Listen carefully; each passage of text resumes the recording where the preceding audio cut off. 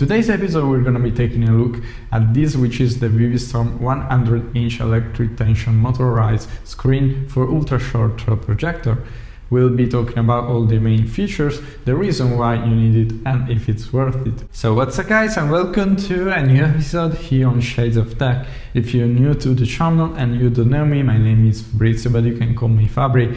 And if you like what you see, be sure to subscribe, it really helps the channel. In the next couple of videos we're gonna be talking about all the process of building an home cinema setup, the image quality, the screen, the sound and all the overall process. So definitely stay tuned for that. Also made a dedicated video about the 4K HDR10 projector that I'm gonna be using in this video. So definitely check it out. For full disclosure, yes, Vividstorm sent this really nice screen for projector but I'm not paid or sponsored in any way so as always all the opinion in this video are my own also I remove all the monetization from this YouTube video so if you appreciate that leave a like this is the Vividstorm electric tension motorized UST-AR screen in the 100 inch size. UST means ultra short throw, so the projector goes really close to the screen. Found a really high standard in the build quality. The metal is really heavy and sturdy, so the overall construction is really robust. And also all the mechanisms are really strong. Of course it comes both in black and white versions, so you have a color option. So really high build quality means really sturdy metal and so it weighs 30 kilos and it's more than 2.2 meters long so it's really big. If you're considering to get one 100 inch is really already big. I was used to the 65 inch of my tv so 100 inch in my mind was a lot smaller and i was definitely surprised of how big is this. But on the other hand the section is really small it's not very high and it can go really close to the wall. The arms on the back that ensure this really smooth movement are really strong and the mechanism is really sturdy. After I took this really heavy box for 3 floor, the overall unboxing experience was really smooth and easy. Just take it out of the box and connect to power, don't need to make anything else. On the contrary, the wall-mounted screens are really hard to put together and to screw in the wall. And usually I like wall-mounted TVs and definitely the wall-mounted screens are really cool but are really really hard to put together and to screw to the wall and to give the perfect tension. With this one, with just the press of one button on the remote, you can open and always have ensured the best tension of the screen. Also the opening is quite fast, just the time to warm up your projector and it's also quite silent. As you probably know, projector in general have always had problems with peak brightness. This is the reason why you go to the cinema, which is a dark place. With history, the introduction of LED and laser, also the peak brightness improved a lot, but they still tend to be used in a dark place. Well, if you have a screen like this, you can remove this, which is the biggest problem of projector. So why would you need something like this? So the main reason it could be that you don't have an empty wall. Or another reason could be you have an empty wall, but it's not white. Like in my case, I have a green wall. So it's really hard to keep consistent the colors if your base is green.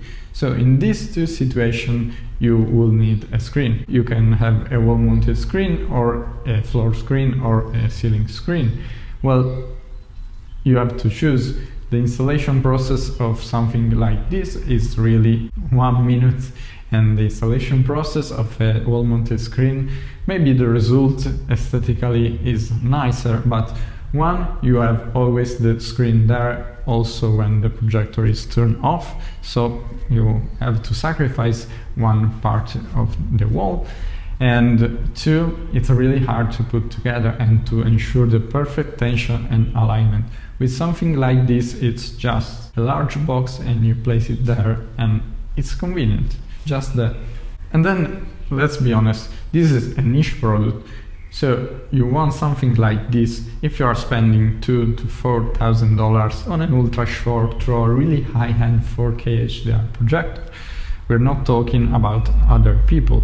Really small niche. So if you spend that kind of money for a projector, you want to take out most of you can from your new shiny projector.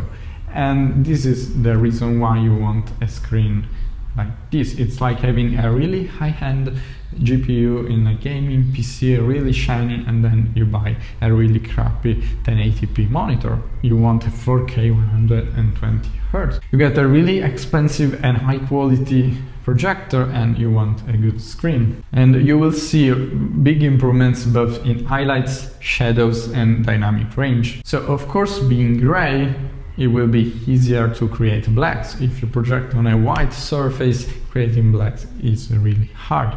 So you might be thinking if it's gray, the highlights won't be really good. Well, you're not completely correct because this screen has a particular fabric and technology that has to reflect only the light that comes from the bottom part and deflect or absorbs all the light from coming from above, meaning the uh, light from uh, an artificial light or the daylight. It means two things one, for the projector, it's easier to deliver all the light from the screen reflect because projecting is a reflection on a screen. So if the screen reflects better for the projector is easier to deliver to your eyes the viewer uh, a viewer part of light and so it translates in more accurate and uh, better colors highlight and highlights. And second that you can also watch something like this, a TV or movie in daylight, or maybe with artificial light in some situation. So what's the difference? For me it's easier to show you than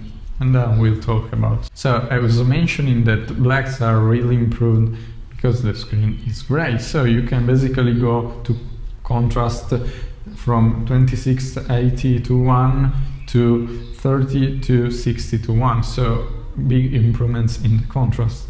And also the peak brightness being the reflection helped by this particular fabric, the peak brightness that is delivered to your eyes is higher. This means the contrast is increased. It's not of course like an OLED, but it's really hard to have an OLED bigger than 65 inch or it gets really really expensive. So in this way you can have the best of both worlds, really good contrast and also picture size that go from 100 to 150 inch. Also the color experience is vastly improved because this particular screen is made for ultra short throw projector so it delivers to the viewer only the light from the bottom where it's placed the projector and doesn't reflect the light from above, for example artificial light or daylight.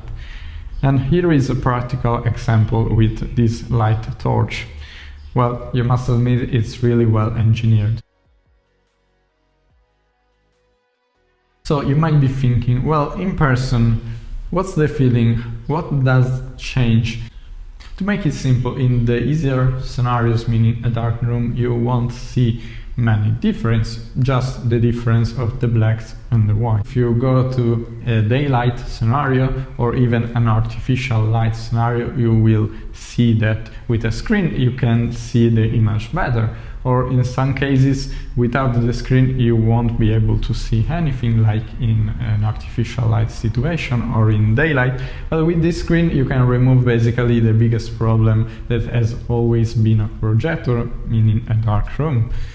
And in my opinion, it's really cool because you can create some really sleek and minimal uh, setups uh, with a media center that hide all the screen and the projector. And with uh, one remote you can open the screen and turn on the projector. And on that wall you can put a frame or some shells. And uh, so the screen will be open only when you watch the TV or a movie and I think this is really convenient and takes the whole experience of home um, cinema to the next level. You enter in a living room, where is the TV? How cool is that? Press one button and you have your TV 100 inch. Or you can also put it in a place where you wouldn't have a TV, like at the end of one bed. That would be really cool. So, in my opinion, there are not many disadvantages, but I think there is one downside, at least to me, which is the not compatibility with Google Home and Alexa Assistant. I really use if you watch my studio tour to routines with Google Assistant and a smart home. I have a routine where I say, okay, Google Cinema mode, and I close the blinds and turn on all the colored RGB lights and turn off the other lights and turn on the TV and so on. So it will be very cool to have uh, something like this where you say, okay, Google Home Cinema mode, and it opens the screen projector automatically and turn on the projector. I miss a little bit this kind of integration, but to be honest, I think this could be really easy for them to introduce it with some minor changes. So I won't be astonished if in the next year version they will introduce it. So this will be a really cool. Stay tuned for that. $1,350. Is it a lot? Well, we have always remembered that we are talking about a sport car niche. Not many people would afford or need. There is nothing bad if you don't want to spend $6,000 on a home cinema setup. We're talking about niche.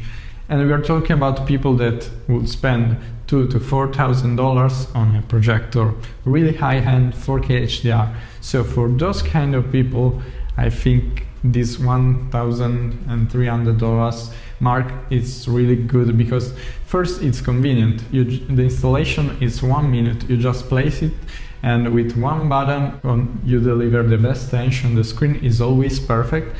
And two, it's technically engineered to improve the picture. Again, it's like having a really high-end GPU and gaming PC with a really crappy screen. So you want to make the most out out of your 4K HDR projector. And three, it takes, in my opinion, design to the next level because you can hide it basically in the furniture and in places where you couldn't put a TV and you can create some minimal and good looking setup and really take the home cinema experience to the next level. This was my take. I totally think this could be worth it if you are if you have an ultra short throw projector. And let me know what you think in the comment section. And if you enjoyed this video be sure to leave a like or a dislike. It works as well. And as always stay tuned for the building the new studio coming soon and building the home cinema setup series. And as always I'll see you in the next episode. Ciao